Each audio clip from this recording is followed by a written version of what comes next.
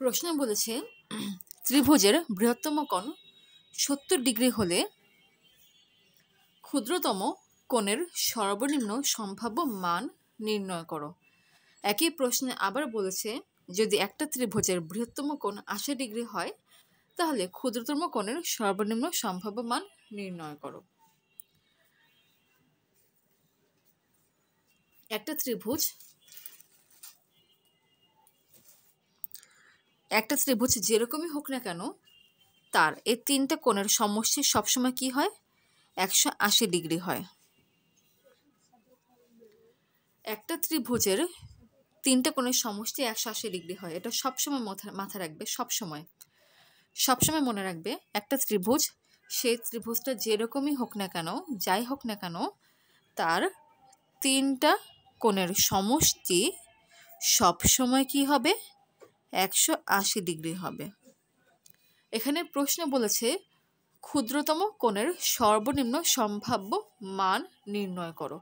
যেহেতু ক্ষুদ্রতম কোণের সর্বনিম্ন সম্ভাব্য মান বের করতে বলেছে, তাই যে কোণটা দেওয়া থাকবে, সেটাকে অন্তত দুইটা কোণের মান ধরতে হবে। অন্তত না, সেটাকে দুইটা কোণেরই মান ধরতে হবে। অন্তত হবে না, কারণ যদি আমি অন্তত দুইটা বলি, তাহলে এক্ষেত্রে তুমি তিনটাও বলতে পারো। কিন্তু তুমি যদি তিনটা কোণকে সত্তর ডিগ্রি করে ধরো, তাহলে তিনটা কোণের সমষ্টি দুইশো দশ ডিগ্রি হয়ে যায়, যেটা একশো আশি ডিগ্রি থেকে বড়, যেটা কখনোই সম্ভব না।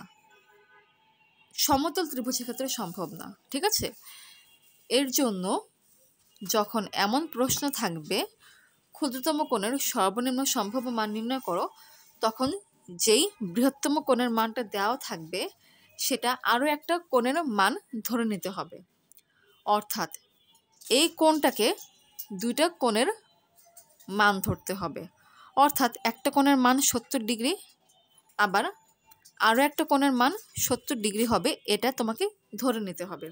তবেই তুমি সবচেয়ে ক্ষুদ্রতম কোণটা পাবা? যদি তুমি এইখানে সত্তর ডিগ্রি না ধরে যদি তুমি এখানে সত্তর ডিগ্রি থেকে কম ধরো তবে তুমি সবচেয়ে ক্ষুদ্রতম কোণের মানটা পাবা না। ঠিক আছে? এর জন্য যে কোণটা বৃহত্তম কোণের মান হিসেবে থাকবে তাকেই দুইটা কোণের মান হিসেবে ধরতে হবে। সত্তর যোগ সত্তর হচ্ছে একশো চল্লিশ।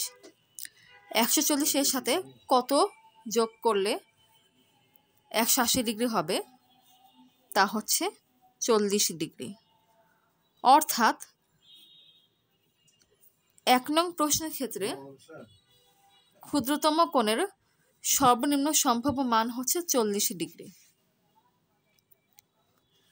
এখন যদি এক্ষেত্রে বৃহত্তম কোণের মান আশি ডিগ্রি থাকতো, তখন ক্ষুদ্রতম কোণের মানটা কি হতো? খুবই ইজি দুইটা কোণের মানকে আশি ডিগ্রি ধরবো। আশি যোগ আশি হচ্ছে একশো ষাট। একশো ষাট ডিগ্রির সাথে কত যোগ করলে একশো আশি ডিগ্রি হয়? তা হচ্ছে বিশ ডিগ্রি। অর্থাৎ এক্ষেত্রে সবচেয়ে ক্ষুদ্রতম কোণের মান হচ্ছে বিশ ডিগ্রি। অর্থাৎ এক নংয়ের জন্য সবচেয়ে ক্ষুদ্রতম কোণের মান হচ্ছে চল্লিশ ডিগ্রি। এবং দুই নং প্রশ্নের জন্য সবচেয়ে ক্ষুদ্রতম কোণের মান হচ্ছে বিশ ডিগ্রি।